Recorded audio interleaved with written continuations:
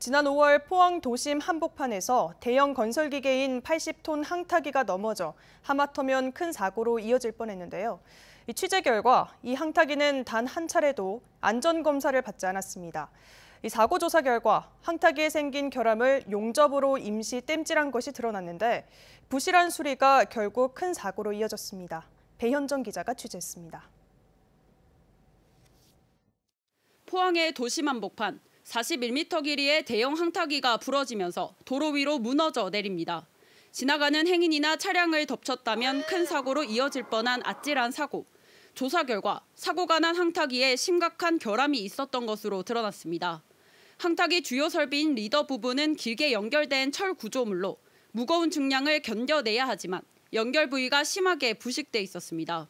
반복해서 사용하고 그런 건 육상에 보면 점검을 잘 하지 않는 편입니다. 충분히 검토되고 검사를 했더라면은 방지는 됩니다.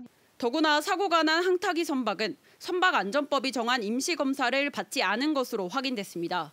선박안전법은 기관 성능이나 조종 성능에 중대한 영향을 미치는 개조 또는 수리에 대해 임시검사를 받도록 규정하고 있습니다.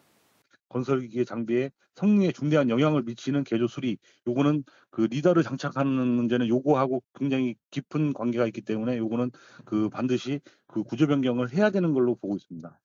80톤 무게의 항타기를 크레인 선박에 설치할 경우 큰 영향을 미칠 수밖에 없는데 개조와 관련된 어떠한 검사도 받지 않은 겁니다.